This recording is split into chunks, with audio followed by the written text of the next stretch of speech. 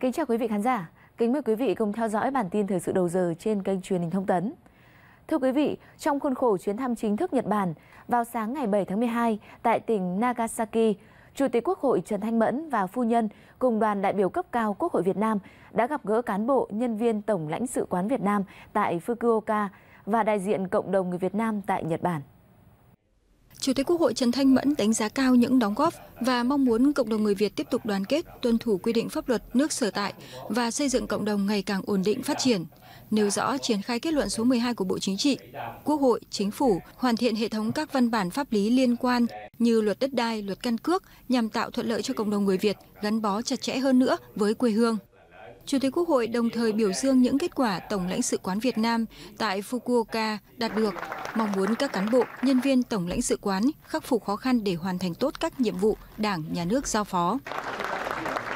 Trước đó, Chủ tịch Quốc hội Trần Thanh Mẫn và phu nhân cùng đoàn đại biểu cấp cao Quốc hội nước ta đã tới đặt vòng hoa tại công viên Hòa Bình, nơi tưởng niệm các nạn nhân trong vụ ném bom nguyên tử xuống thành phố Nagasaki vào ngày 9 tháng 8 năm 1945. Đoàn cũng tới thăm bảo tàng tư liệu bom nguyên tử hiện đang lưu giữ và trưng bày nhiều hiện vật, bao gồm vật dụng của các nạn nhân, cùng phần sót lại của những công trình đã bị tàn phá. Ghi sổ lưu niệm, Chủ tịch Quốc hội viết Việt Nam là một dân tộc yêu chuộng hòa bình và luôn mong muốn các dân tộc trên thế giới sẽ cùng nhau hướng tới hòa bình thịnh vượng, cùng nhau phát triển.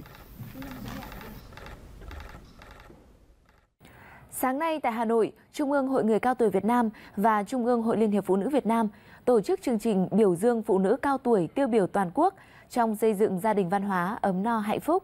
Ông Đỗ Văn Chiến, Ủy viên Bộ Chính trị, Bí thư Trung ương Đảng, Chủ tịch Ủy ban Trung ương Mặt trận Tổ quốc Việt Nam đã tới dự.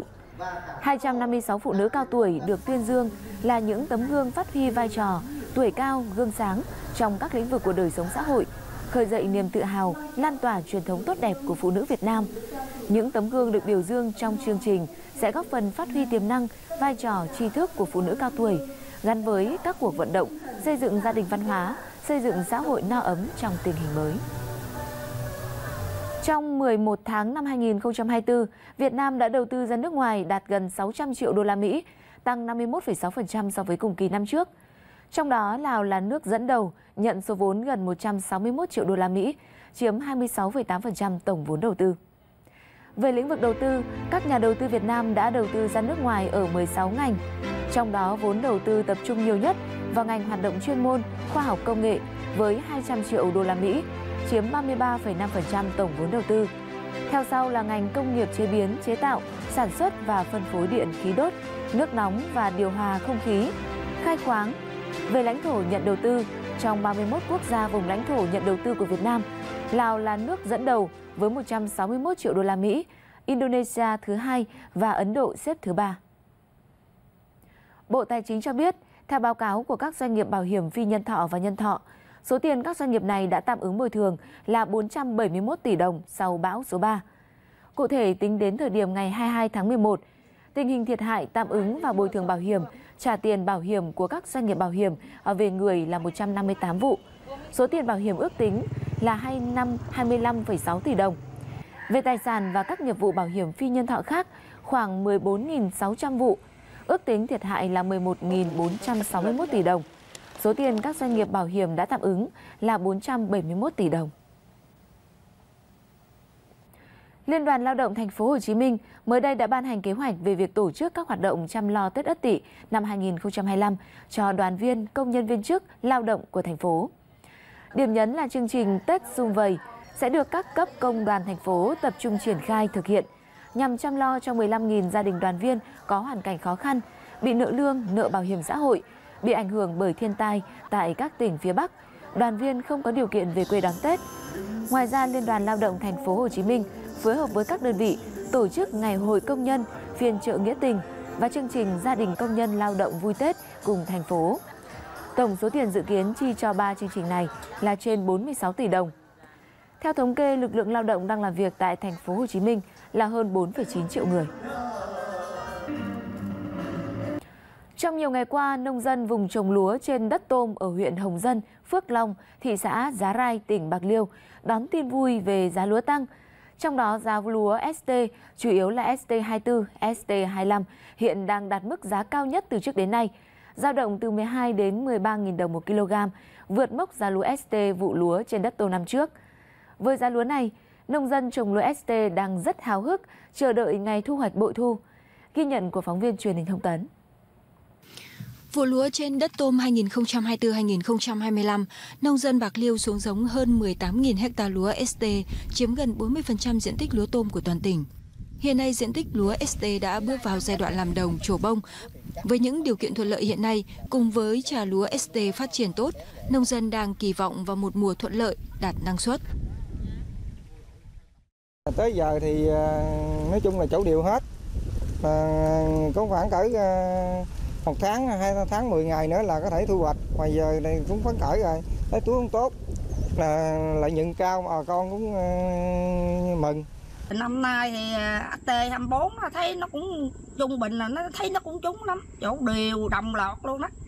Ờ, dùng này ờ, là chủ yếu là bà con tập trung vào sản xuất cái lúa ST24 gì ờ, là cái dùng này là thu hoạch nó thời điểm là nó nó cả gần Tết và và nó đảm bảo cái cái, cái giá là tương đối tốt so với, với với một số vùng khác. Trước đó trong vụ hè thu 2024 do ảnh hưởng của mưa bão kéo dài khiến cho hơn 10.000 hecta lúa của nông dân ở các huyện Vĩnh Lợi, Hồng Dân không thu hoạch kịp thời, lúa bị đổ ngã làm giảm năng suất lẫn giá bán. Từ vụ sản xuất được kỳ vọng thắng lợi, cả năng suất lẫn giá bán, thì nông dân Bạc Liêu lại gặp thực tế của một vụ sản xuất mất mùa, mất cả giá. Với những tín hiệu lạc quan về giá cả và sự thuận lợi của thời tiết, nhất là giá của lúa ST đạt cao khiến cho nông dân càng thêm phấn khởi. Niềm vui càng được nhân đôi khi việc thu hoạch lúa cao điểm vào thời điểm cận Tết. Khi áp dụng cái mô hình à, lúa tôm thì à, xét thấy là trong cái khu vực chuyển đổi này đó là cái mang tính hiệu quả nhất. Thì à, trong những năm qua người dân là làm là, à, là tính toán tất cả thứ thì đều là thấy là nó rất là hiệu quả. Thì đặc biệt là năm 2023 2024 cái mùa vụ lúa tôm đó, thì dân là trúng mùa rồi trúng giá trong những năm qua, Bạc Liêu luôn quan tâm và khuyến khích các địa phương duy trì, nâng dần diện tích trồng các loại lúa đặc sản nhằm nâng cao giá trị kinh tế cho người nông dân, trong đó chủ yếu là các giống lúa đặc sản như ST. Và đây là một trong những loại lúa được nông dân ưa chuộng trồng vì nhẹ công chăm sóc, mang lại lợi nhuận cao.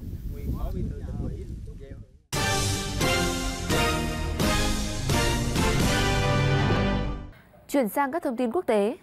Hôm qua, một nguồn tin cho biết quân đội Syria vừa để mất quyền kiểm soát thành phố Dara. Đây là tổn thất nghiêm trọng mới nhất của chính phủ sau khi quân nổi dậy chiếm quyền kiểm soát nhiều thành phố lớn. Theo Tổ chức Giám sát Nhân quyền Syria, các nhóm phiến quân hiện kiểm soát hơn 90% tỉnh Dara, giáp giới với Jordani, trong đó có thành phố Dara cùng tên. Tỉnh này cũng đã ghi nhận tình trạng bất ổn với các cuộc tấn công và đụng độ liên tiếp trong những năm gần đây. Trước đó, Liên minh phiến quân do nhóm Hồi giáo Hayat Tahrir al-Sham dẫn đầu đã chiếm được Aleppo và Hama, hai thành phố lớn khác ở miền trung Syria. Quân nổi dậy cũng đã tiến tới thành phố Homs khi chính quyền rút khỏi đen Anzo ở miền đông. Liên minh phiến quân do nhóm Hồi giáo Hayat Tahrir al-Sham dẫn đầu vốn có nguồn gốc từ nhánh Al-Qaeda tại Syria và bị phương Tây coi là tổ chức khủng bố. Hôm qua, lực lượng phòng chống ma túy nước Cộng hòa Dominicana đã triệt phá một vụ vận chuyển cocaine lớn nhất từ trước đến nay – khi phát hiện khoảng hơn 9,5 tấn ma túy được giấu trong một lô hàng chuối cập cảng ở thủ đô. Theo người đứng đầu cơ quan kiểm soát ma túy quốc gia, lực lượng chức năng đã phát hiện 320 túi chứa khoảng 9.500 kg ma túy với giá ước tính trên chợ đen khoảng 250 triệu đô la Mỹ. Số ma túy trên được giấu trong một container chuối trên một chiếc tàu đến từ Guatemala, tuy nhiên đã bị cảnh sát phát hiện và thu giữ trong quá trình chuyển sang một container khác để đưa lên tàu tới Bỉ. Đây là vụ bắt giữ ma túy lớn nhất được ghi nhận tại Cộng hòa Dominicana. Trước đó hồi năm 2006, cũng tại cảng này, lực lượng chức năng cũng đã phát hiện và thu giữ 2.580 kg ma túy. Trung tâm Insight Crime cảnh báo các vụ thu giữ ma túy kỷ lục trong năm nay cho thấy vùng Caribe đang trở thành tuyến đường buôn lậu ma túy chính từ Colombia đến châu Âu, nơi lượng tiêu thụ được cho là đã tăng gấp đôi trong khoảng thời gian từ năm 2011 đến năm 2023. Bắt đầu từ tháng 12 này, Singapore chính thức áp dụng quy định về việc xem các doanh nghiệp phải ờ, xem xét chế độ làm việc linh hoạt theo yêu cầu của người lao động. Theo đó, chế độ làm việc linh hoạt bao gồm các hình thức như địa điểm linh hoạt, giờ làm việc linh hoạt và khối lượng làm việc linh hoạt.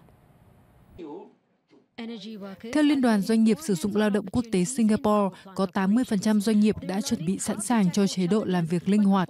Người lao động ở Singapore có thể yêu cầu làm việc 4 ngày mỗi tuần, làm việc từ xa thường xuyên hơn với thời gian làm việc linh hoạt hơn. Theo quy định mới, dù các doanh nghiệp sử dụng lao động không có nghĩa vụ phải chấp nhận tất cả các yêu cầu làm việc linh hoạt từ nhân viên, nhưng họ phải đánh giá từng trường hợp riêng lẻ và đưa ra lý do từ chối dựa trên hoạt động kinh doanh. Thị trường lao động eo hẹp và dân số già là những nguyên nhân chính khiến quốc đảo Sư Tử ban hành chỉ thị nêu trên.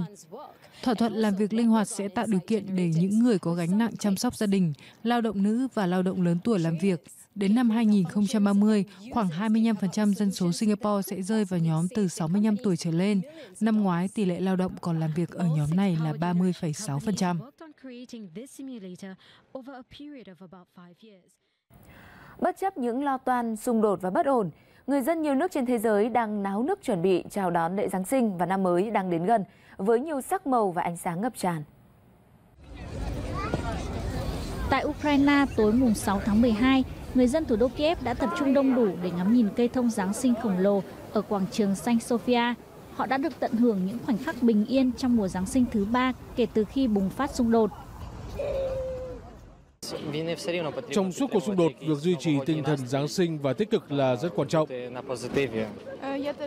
Cây thông này xuất hiện rất đúng lúc. Nó xoa dịu tâm trạng của mọi người trong mùa Giáng sinh để tạm thời quên đi những tin tức tiêu cực. Chúng tôi rất cần không khí của lễ hội.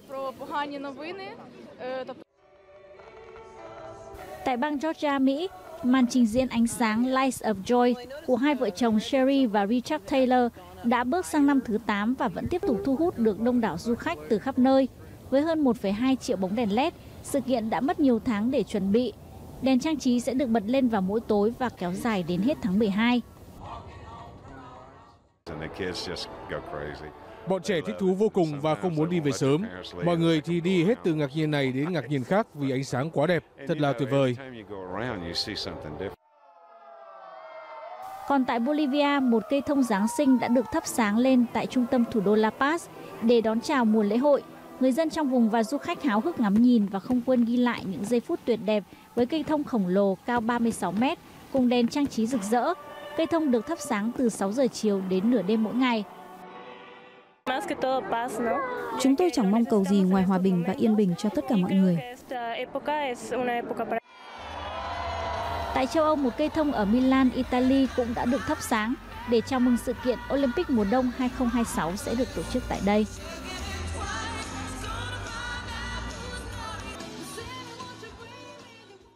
Ngày 7 tháng 12, sau chặng đường tu bổ hơn 5 năm, nhà thờ Đức Bà Paris, công trình mang tính biểu tượng của nước Pháp, đã sẵn sàng đón công chúng quay trở lại. Đây là thành quả của hàng nghìn nghệ nhân từ khắp nơi trên thế giới, góp công khôi phục lại di tích kiến trúc co thích này. Trong ngày mở cửa, khách tham quan sẽ được chiêm ngưỡng một mô hình nhà thờ Đức Bà Paris phiên bản thu nhỏ của các nghệ nhân tài năng.